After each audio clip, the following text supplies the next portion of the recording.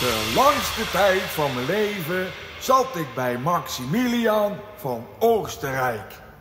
Hij kwam uit het huis Habsburg. Dat huis Habsburg moeten jullie nog even goed onthouden. Maximilian van Oostenrijk was best een aardige man. Althans, dat vond ik toen. Ik vocht als jonge ridder met hem mee tegen Vlaamse opstandelingen en tegen de Fransen. En je vraagt je af waarom dat wij toen zoveel oorlog voerden.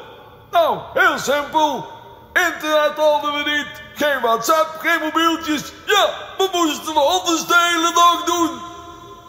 Dan maar oorlogje voeren. Later, toen was Karel de Stoute aan de macht in Gelre.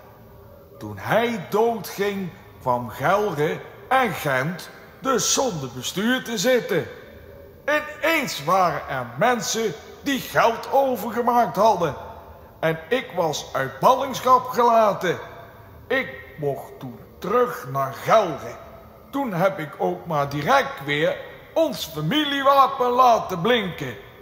Dat familiewapen is bij jullie ook bekend, omdat het vandaag de dag op het wapen van Gelderland lijkt.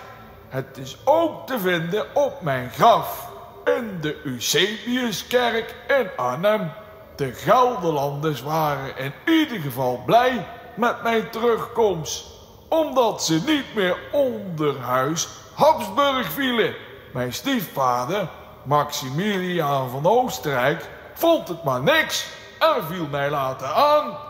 Je zou kunnen zeggen dat zo de Gelderse oorlogen begonnen.